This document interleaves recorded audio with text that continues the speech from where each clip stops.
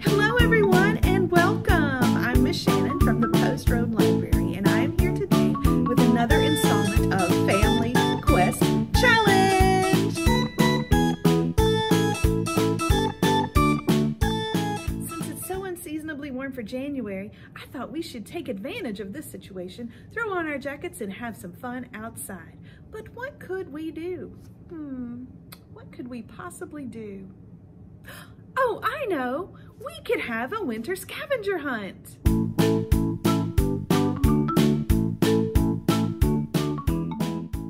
In a scavenger hunt, you're given a list of objects to find and collect. You can play with a partner, you can play individually, or you can play in a small group. You could also play indoors or outside. It's all up to you.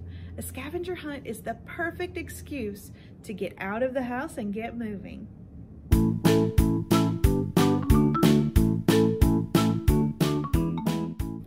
A pro tip. If you're currently homeschooling, a scavenger hunt could totally count as PE for the day. Also, if you're missing the grandparents, this would be a great time to FaceTime them and have them join in the fun.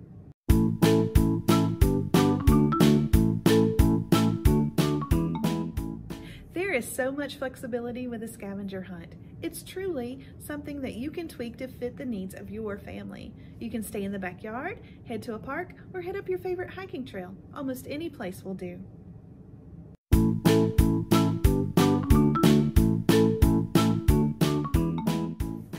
Shh, don't tell the kids but a scavenger hunt is so much more than just having fun. A good scavenger hunt can reinforce vocabulary. It promotes logical reasoning, plus it's an exercise in problem solving.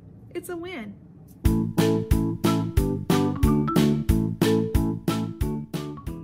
So what are you waiting for? To get started, simply print off the list linked below, grab the kids, and head off outside. Your scavenger hunt adventure is awaiting you.